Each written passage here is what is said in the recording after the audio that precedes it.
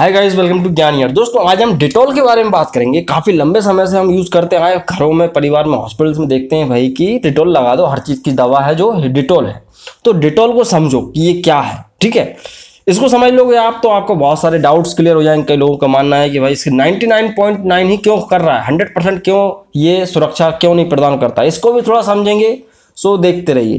दोस्तों, यहाँ पे डिटॉल एक कंपनी का ब्रांड नेम है। कंपनी ने अपने ही नाम पे इसका ब्रांड नेम रखा हुआ है, ठीक है? डिटॉल कंपनी का नाम भी है, ठीक है? तो इसका लिक्विड भी आता है हैंड सैनिटाइजर और सॉप वगैरह सब कुछ आता है बट हम लिक्विड की बात करेंगे। तो ये जो लिक्विड है, ये एक एंटीसेप्टिक लिक्विड होता है, जो कि फ़र्स्ट एड में यूज़ किया जा सकता है। यूजेस की बात करना है भाई, कि ये फ़र्स्ट एड में लगा सकते हैं आप इसको, जो है डिसइनफेक्टेड करने के लिए आप जो भी सर्जरी से पहले घाव को साफ़ करने के लिए सब में आप इस्तेमाल कर सकते हैं, एक प्रकार से देखा जाए। नहा सकता आदमी, बात कर सकता है मतलब कि उसको थोड़ा बहुत पानी में डालो डाइल्यूट करके नहा सकते हैं इससे। ठीक है बॉडी को भी ये डिसइनफेक्टेड कर देगा। शेविंग अगर आप कर रहे हैं तो उसमें भी इसको यूज़ कर सकते हैं। बच्चों की नेपीज वगैरह जो धोते हैं मतलब उनकी जो बोलना चाहिए कि चड्डी वगैरह जो होती हैं बच्चों की छोटे छोटे बच्चों की, उनको भी धोया जा सकता है इससे, उनको भी डिसइनफेक्टेड किया जा सकता है। तो ये तो इसके कुछ बेसिक से यूजेज हैं, दुनिया जानती है। बात करेंगे कि है क्या? दोस्तों, ये जो डिटॉल लिक्विड है, इसके अंदर क्या पाया जाता है? दो चीज़ें बेसिकली मुख्य हैं इसके अंदर। ठीक है कौन कौन सी हैं? क्लोरॉक्सिनॉल है इसके अंदर क्लोरॉक्सीनॉल 4.8 परसेंट है इसके अंदर। दूसरा क्या है? टर्पेनॉयल है जो कि 9 परसेंट है और एल्कोहल है। 13 परसेंट। ये इसके अंदर पाया जाता है, ठीक है? अभी क्या है कि भाई जो क्लोरोक्सीन है, ये क्या है? एक फिनोल ग्रुप का एक, बोल सकते हैं आप ये केमिकल है। इसके अंदर जो क्लोरोक्सीलिनोल है, वो एक्चुअली क्या है? एक डिसइनफेक्टेड एजेंट होता है, ठीक है ना? कोई भी चीज़ को डिसइनफेक्टेड कर देगा, कोई भी माइक्रो ऑर्गेजम है और जो भी चीज़ें हैं मतलब कि बैक्टीरिया वायरस को किल करने का काम करता है। साथ में इसमें टर्पेन ऑयल है तो वो भी इसको ही, यही सब कुछ करता है, थोड़ा सा फ्लेवरिंग की तरह डाला जाता है और जो है अच्छा इसके इसी के वर्क को इन्हांस करता है। साथ में अल्कोहल है एल्कोहल तो ज़ाहिर सी बात है, एक डिसइनफेक्टेड होता ही है। तो ये तीनों को इसमें डाला गया इसमें टर्पेनॉल है, इसलिए ऑयली फ़ेज़ में है। तो जब भी पानी के अंदर इसको डालोगे, आप तो ये फुहारा सा बनता है वाइट वो इसलिए बनता है क्योंकि इमल्शन क्रिएट करता है। ये ऑयली फ़ेज़ में होता है वाटर वाटर फ़ेज़ होता है, दोनों को मिक्स करोगे तो एक सफ़ेद टर्बिनिटी आ जाती है।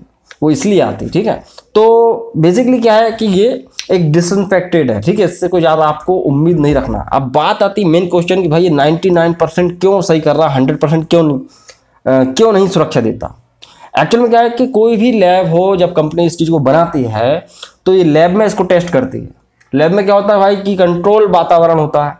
कंट्रोल वातावरण होता है और वो बस उसमें टेस्ट करते हैं। तो उसमें क्या उनको 99 परसेंट की उसको जो है इफ़ेक्ट दिखा है। बट ये 99.9 ही काम करे, ये भी कोई श्योरिटी नहीं है, ठीक है ना? क्योंकि आज तक ऐसा कोई केमिकल ही नहीं बना। तो खैर, अगर ये कर भी रहा है तो एक परसेंट क्यों छोड़ रहा है? ज़ीरो पॉइंट ज़ीरो परसेंट क्यों छोड़ रहा है?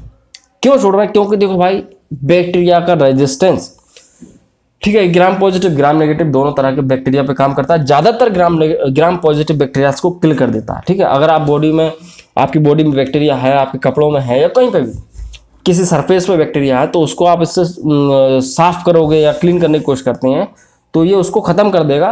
ज़्यादातर देखा गया ग्राम पॉजिटिव बैक्टीरिया को ग्राम नेगेटिव को नहीं, ठीक है? तो एक तो एक कारण होता है कि भाई ये वन परसेंट को छोड़ देता है, ठीक है? और दूसरा है कि भाई बैक्टीरिया की रेजिस्टेंस भाई सालों से इस्तेमाल करते हैं बैक्टीरिया की रेजिस्टेंस बना ही देता है। अब बैक्टीरिया भी क्या ढीट हो जाता है थोड़ा। तो बैक्टीरिया इससे किल नहीं हो रहा, इसलिए अस्पताल वगैरह हम देखते हैं, इसका इस्तेमाल नहीं करते, ठीक है अस्पताल में किसका इस्तेमाल करते हैं? ट्राइक्लोजन का इस्तेमाल करते हैं। ट्राइक्लोजन एक केमिकल होता है, उसका इस्तेमाल करते हैं चीज़ों को डिसइनफेक्टेड करने के लिए, या डायरेक्ट एल्कोहल का इस्तेमाल करते हैं। तो हॉस्पिटल्स में इसका इस्तेमाल कम ही होता है, क्योंकि हॉस्पिटल वाले अच्छे तरीके से जानते हैं कि ये जो है बैक्टीरिया जितने भी हैं रेजिस्टेंस हो चुका है। क्योंकि आप रात दिन किसी चीज़ को लगाओगे तो बैक्टीरिया भी रेजिस्टेंस बना देता सो अगर अब बात हो गई कि ये काम क्या कर रहा बात करेंगे काम कैसे करता है। देखो भाई, जो इसके अंदर क्लोरोक्सीनोल है क्लोरोक्सीलिनॉल है, ये क्या करता है बेसिकली कि बैक्टीरिया के अंदर जो प्रोटीन पार्टिकल्स होते हैं, उनको उन पर बाइंड हो जाता है।